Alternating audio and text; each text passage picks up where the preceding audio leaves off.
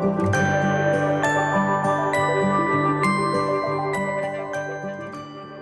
is vier ouens wat bymekaar gekom het. Uh idee was om te teel uh met erfdwang en passie om veld aangepaste bokke te teel. Ons het regtig geïdentifiseer dat goed is in ons bedryf wat uh.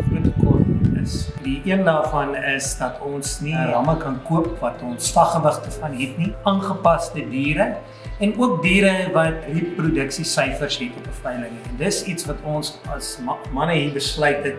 Dis iets wat ons vir die bedryf wil gee en iets vir ons kopers op die ou end van die dag uh, wil bied. Ek moet sê ons het 'n wille perdjie opgesaal. Uh maar 'n ding waarna ons glo, die uh veldtoetse wat ons op die Angora rammetjies doen en met die hulp van Cornel van BKB dink ek gaan ons hoë hoogtes bereik. Uh, ek sien vir van Angoras het in 2000 my stoet begin. Dus ek altyd sê om te meet is om te weet. Ons het besluit om al ons ramme in 'n groep in te skryf.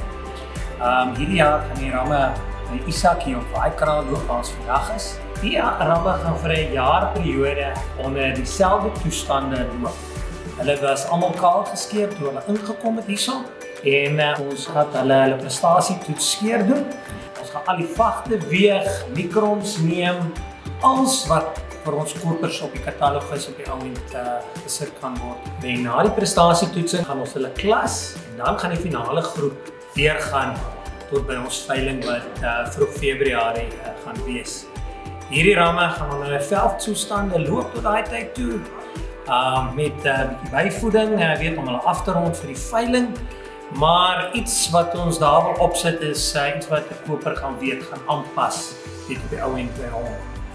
Dit sal vir die eerste keer wees dat 'n groep ramme vir 'n jaar periode um onder dieselfde toestande geloop het.